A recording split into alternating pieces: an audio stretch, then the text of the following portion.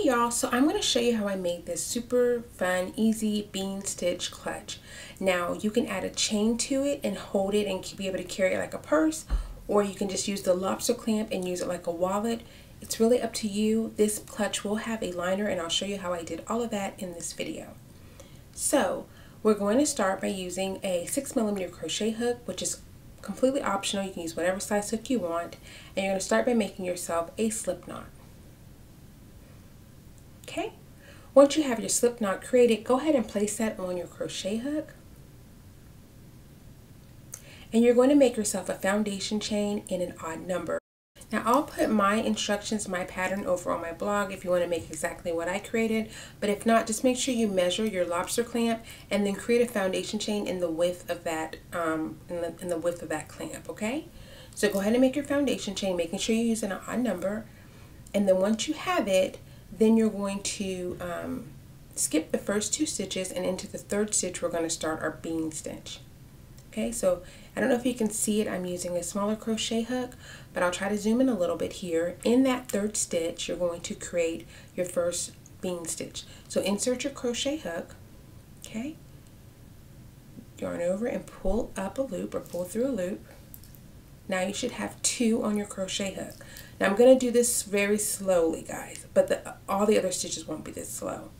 Yarn over, and then you're going to insert that right back into that same stitch. Okay. Pull back through. Now you should have four loops on your crochet hook. Yarn over, insert the crochet hook back into that same exact stitch. You're going to pull back through. Now at this point, you should have six loops on your crochet hook. Okay, now that you have six, you're going to yarn over and you're going to pull through all of those six loops. All right and then you're just going to finish it off by doing a chain stitch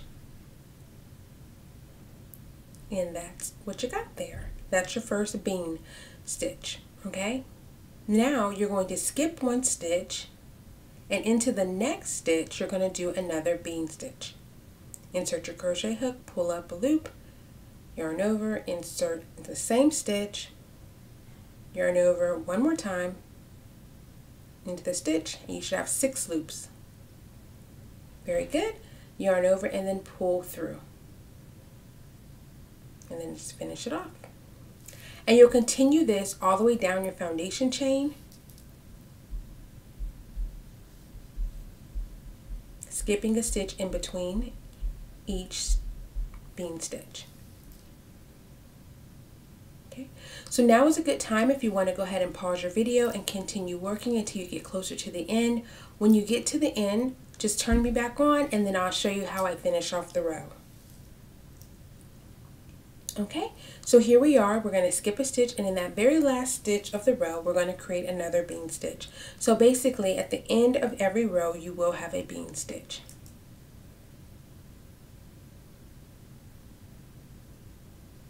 This is a very fun, very satisfying stitch. I enjoy doing this one. I enjoy doing the alpine stitch, but and the bead stitch are really fun. So chain two, turn your work, and then let's get started on our next row.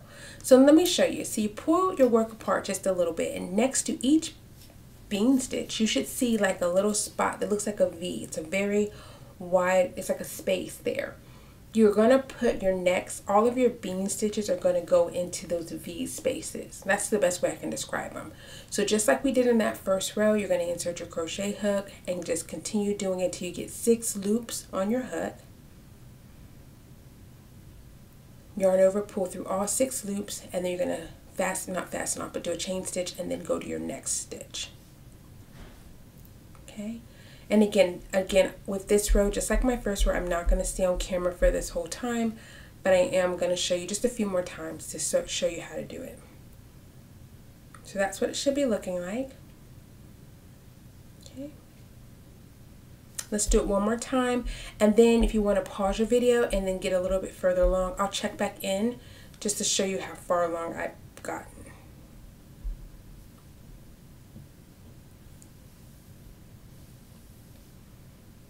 Okay, so this is what it looks like as your, as your work starts to grow. And you're just going to continue doing this until you get to your desired length. And now rem remember, because we're making a clutch or a wallet, when you fold it in half, that's the that's actually going to be the length of your project. So you're going to make this and then you're going to fold it in half and that's going to be that's going to determine how um, the length of your actual wallet okay? So here is a lobster clamp. You're going to need one of these. I got this one from Amazon. I'll link in the description box below. Super cool easy to open and they come in a variety of colors. You'll need a sewing needle with a large eye I use this floss thread but you can also use yarn and I also used an optional gun, um, glue gun. Okay, so once you have decided and you've gotten your swatch to, this, uh, to the size you want, to the length and width that you need, we're going to start to attach this to the lobster clamp. Okay, so I'm not, you know, I'm not going to pretend like I'm the best sewer, but this one's not difficult. I started by inserting the sewing needle through the yarn the swatch and then I then I put it through the lobster clamp okay? And I just kind of like a whip stitch all the way down. So don't get discouraged.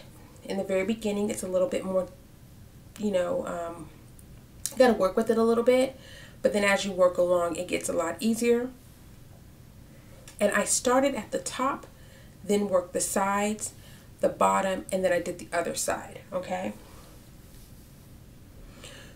um, let me give you a tip. Now, I do add a liner to this.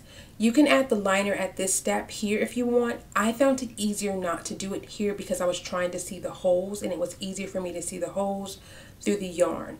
So I added my liner after I sewed it all down. You don't have to do that. That's completely up to you how you decide to attach your liner. But I did my liner after I sewed my crochet swatch down. Okay. So this is what it kind of looks like halfway mark when I've gotten it sewn to one side. Then I'm going to line up the bottom portion to the clamps, to the holes on the other side of the lobster clamp, and then I'm going to sew that down. So that makes sense? So I basically, I sewed the top along the side, and then I sewed the other bottom portion of the swatch to the other half of the lobster clamp. So here I'm just showing you how I attach it to the sides. The same way I attached it to the top, I attached it to the sides.